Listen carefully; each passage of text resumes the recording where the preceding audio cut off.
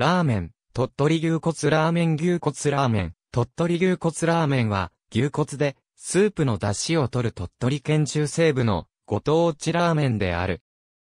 鳥取県中西部に提供する店が集中しており、鳥取県東部では提供する店は、ごく少ない。森枝拓司は著作、森枝拓司のラーメン三昧において、牛骨スープは、癖が強すぎて、スープとして魚することが難しいと指摘しており、牛骨で出汁を取るラーメンは、日本全国的にも少ない。2014年時点では、鳥取県観光案内のウェブサイトでは、鳥取牛骨ラーメンを提供するおすすめ店が22件掲載されている。牛骨出汁のスープを使用する。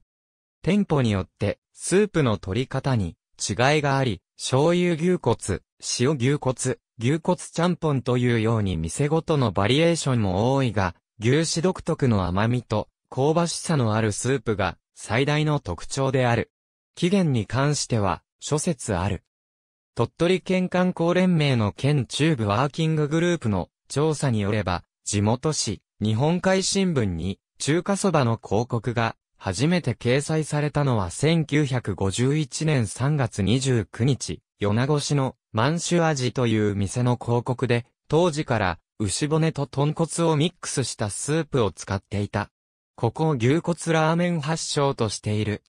満州味のラーメンが伝播する過程で豚骨が脱落したのではないかと考えられている。また、当時は鶏ガラが有料であったのに対し、牛骨はほぼ無料で手に入ったこと。鶏ガラと違って牛骨は10時間から12時間煮出してもスープの出汁が取れるため経済的といった理由が考えられている。鳥取県食の都推進化発行の鳥取食力では満州国からの引き上げ者が現地の味を再現し、第二次世界大戦終戦後すぐに生まれたものとしている。現地でよく使われていた鶏左右スープがヒントになったともされる。明治維新の日本では牛馬は食用よりも荷役や移動、農作業に使われたが、現在の鳥取県にあたる稲葉国、宝木国はその大産地だった。大仙寺近くで開かれた大仙牛橋は日本遺産に認定されるなど、牛との関わりが深い。牛馬畜産の街道沿いに発展した古来より大陸との往来があったことが原因との説もある。さらに一部では、乱州牛肉麺との関連も指摘されている。鳥取県の牛骨ラーメンは戦後の発祥から50年以上提供され、続けてきたが、地元では、ラーメンといえば、牛骨で出汁を取ったラーメンであり、地域固有であるという事実は認識されていなかった。また、地元のラーメン愛好家に、口コミで知られているのみで、外部には存在すら知られていない状態であった。しかし、県外のブロガーが紹介するなどして徐々に知名度が上がり、休日に行列ができる店も出るようになった。そして、2009年6月に、鳥取県中部の牛骨ラーメンを応援する、鳥取牛骨ラーメン応援団が結成され、マスメディアでも取り上げられるようになった。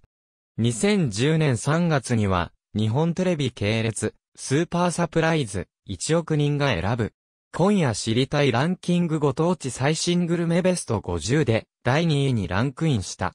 また、2014年には、倉吉市のパープルタウンで、鳥取牛骨ラーメン応援団が主催する、牛骨ラーメンワールドサミットが開催された。同年12月には日本食機構で牛骨ラーメンをテーマとしたドキュメンタリー番組が放送された。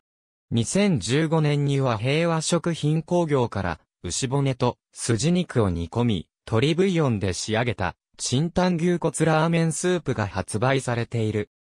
2018年5月からはことほがきや食品により、鳥取ゴールド牛骨ラーメンとして、インスタントラーメンが発売されている。鳥取県東白郡を本店とする、高味徳の銀座店が監修している。餃子の王将では、北海道、東北、関東、新越エリア限定で、牛骨園ラーメンが提供されている。ありがとうございます。